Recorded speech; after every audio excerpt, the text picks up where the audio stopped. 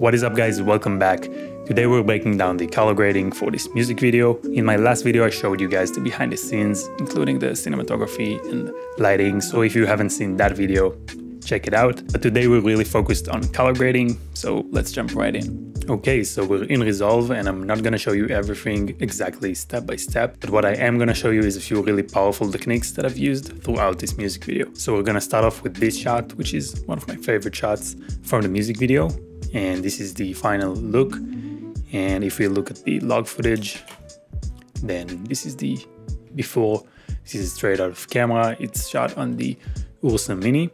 So this is essentially what the Rec 709 footage looked like and I didn't really like the colors here. I feel like the blues are too magenta and the oranges are just too red and I would like them to be more yellow and the blue to be more cyan. I think that would look better. So I made a few adjustments, not a huge difference there, mainly I was pushing the uh, yellows a bit more towards one of them and the blues as well but just a little bit as you can see. Then we have some sharpening, pretty standard, then some grain, and we have some halation going on, and then just a bit of, uh, of color from Juan Melara's Film Unlimited Power Grade. And then this node right here, which is the YUV colors, um, that's the most powerful node here. And if I turn it on, you can just see how it like completely changed all of the colors. This is before and this is after. So that's basically like the main component here with this look. So I'm gonna break it down for you. So what we have here essentially, and this is something I learned from Juan Melara. So this node is essentially in the YUV color space. So if I right click and go to color space, you can see that we're on the YUV color space. And I don't wanna pretend like I know everything about this. It's still new to me, but essentially when we go into that color space, we have Y for luminance, U for the yellow and blue um, colors, and then V for the red and cyan. And basically with this color space, together with the channel mixer, we can shift these colors around and have them be responsive to, to each other. So they basically move together instead of just changing one of the colors individually like you would um, with the curves, for example, with the hue versus hue or U versus Z. So this really shifts the colors around, but in a way that is really pleasing and that creates really nice color contrast. So I'm gonna show you how to do it. It's really, really easy and very powerful. Within just a few minutes, you can get really far and like get really powerful results from it. So I'm going to disable it and um, let's create a new node. And I'm going to right click and then go into color space and go all the way down to YUV. And then I'm gonna go into the RGB mixer, which is right there. So now our red, green and blue is essentially Y, U and V, which again stands for luminance for red, for Y, and then U is now the green channel, and that's the yellow and blue axis. And then blue is V, which is red and cyan. Red and cyan is mostly what I wanna be adjusting here. And I'm just going to go for the red channel within the blue channel, like within the blue output.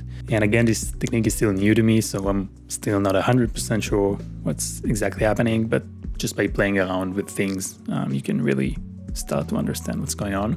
So you can see if I bring it up, this is going very like red and purple.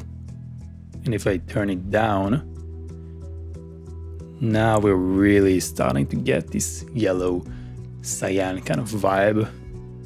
And that's, that's pretty much what I wanted. It, it only took a few seconds, which is pretty crazy.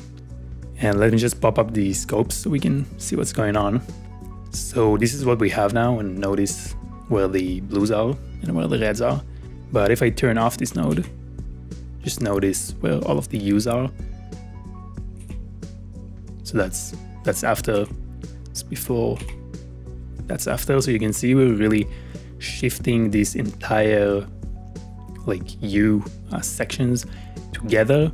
So that creates a really seamless um, kind of color contrast, which is really nice instead of having to change every color individually, which tends to create um, a a lot of artifacts sometimes, and b it just doesn't really look right a lot of the times, especially if you're trying to really push something.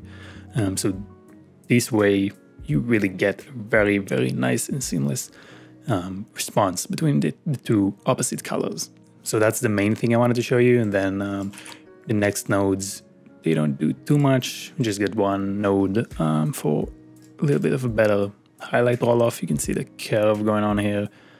Um, some saturation and uh, some blur. I'm not sure if you can see, it's pretty subtle. Here we're gonna be able to see it better. Yeah, so I'm just adding this blur on the edges just to create this little bit of like anamorphic distortion. And that's pretty much it for this shot. Um, and then one other thing I wanted to show you was um, these shots. You can see they have this really like gritty, like high contrast kind of look to them. And that's essentially a bleach bypass, which is a pretty old technique they used to do like back in the day, in, in the film days. So I'm just gonna show you. This is uh, before the bleach bypass, and this is after the bleach bypass. So to create the bleach bypass effect, we're gonna create a new node, then we're gonna press Option L, or probably Alt L if you're on Windows. That's gonna create a layer mixer.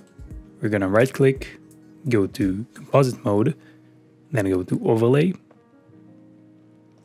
Then for the lower node, we're gonna call it black and white, and we're gonna drop the saturation to zero. And now we have it full strength, doesn't look very good. So what we're gonna do is just go to the key tab and we're gonna drop down the gain, or essentially the opacity.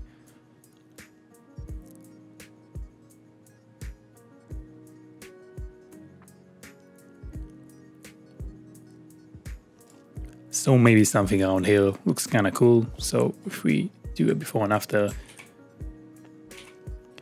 this is the effect that we're getting. And that's the bleach bypass look. And one last thing I wanted to show you was this shot. So this is the grade I initially landed on and there was just something missing. I felt that everything is too much in the same color. There's not much of a, of a separation here like between her face and the background there, all the bottles. Just everything feels kind of washed up in this yellow color cast. So the first thing I thought about doing is neutralizing all of the highlights.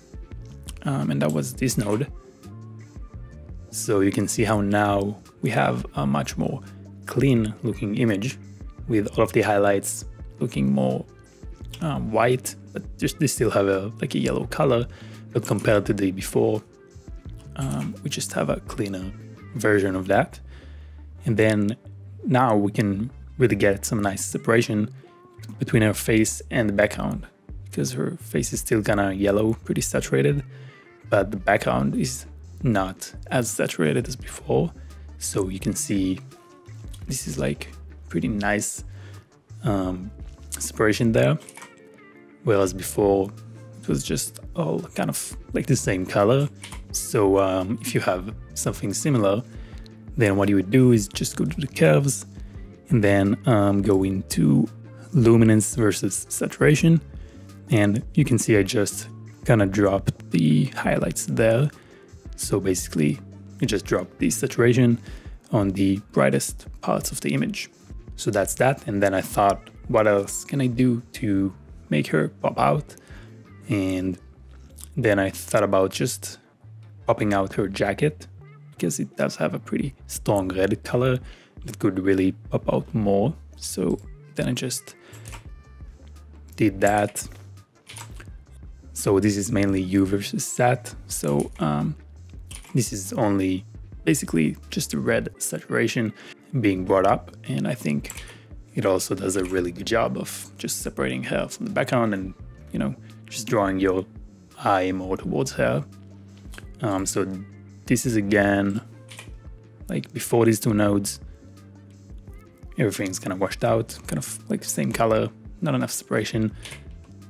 Then we neutralized the highlights, popped out the reds, and um, this really made a big difference. But yeah, these are the main things I wanted to show you. Most of these shots are like they have the same kind of like node tree. Um, so I just wanted to show you guys the main things that I felt made a difference in this um, grading process and hopefully you can take these techniques and apply them to your videos and your color grades. So that is all for today. Thank you for watching. Hopefully this can help you in your color grading process. If you want to check out the full behind the scenes of this music video, there's a link down in the description. And if you enjoyed this video, please give it a like and also subscribe for more of these videos. If you want to get my film emulation power grade, LUTs, film burns, film grain, and other amazing products around film, then check out our store, Century 8. There's going to be a link in the description, so make sure you check that out. And if you want to see what I'm doing daily, behind the scenes, send me a DM, connect, then check out my Instagram. It's at yuvala96. But that is all for today. Thank you for watching, and hopefully, I'm going to see all of you in the next video.